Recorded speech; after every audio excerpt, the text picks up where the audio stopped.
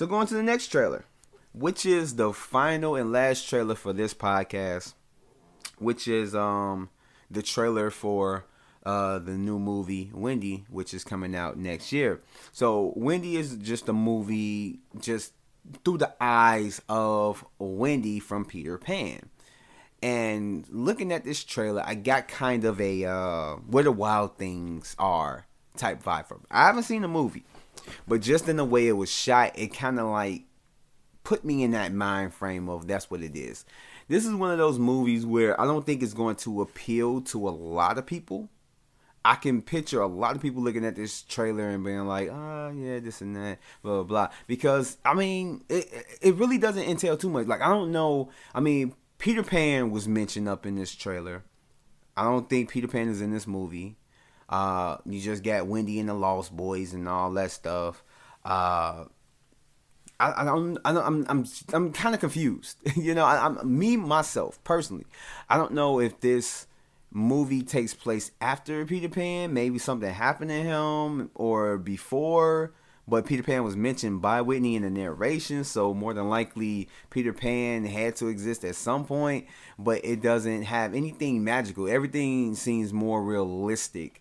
Um, it doesn't take a whole fantasy type vibe to it. I know, and part of the trailer, it is mentioned like uh, one of the kids is telling um, Wendy like we can fly this and that. She's like, for real, we can fly and then the one you see them jumping off the cliff, and then the next scene is them underwater. So you don't see anything where they're flying or anything. You don't see Captain Hook or anything of that nature. More than likely, it's just it's kind of like a realistic story of Peter Pan. Maybe Peter Pan is kind of like a um, a metaphor, you know, for never getting old. You know, maybe it was a tale of Peter Pan in the book, and so they just took it to their advantage. And I, I believe it was something to where maybe the island is maybe I don't know. It's just, it's confusing, you know.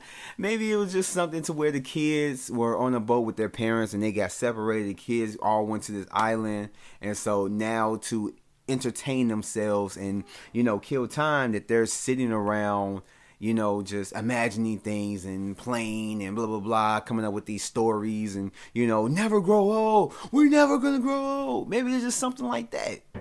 I don't know, but I mean, I don't know. I would have to see. Right now, the trailer don't really do anything for me. It doesn't really deliver anything that it was like. This is what this movie is about. Come see it you know, it, it, just I don't know what to think about it. Maybe if I see another trailer, maybe it would give more, you know, more of a jolt to where it's like, yeah, you need to come see this. But right now, it was like, eh, I, I don't know. I, I, I, may. I mean, I see. I, I see almost every movie, whether they look truly, really, really interesting to me or not. You know, I'll go see it because you never know what you'll like. You'll never know what you'll like.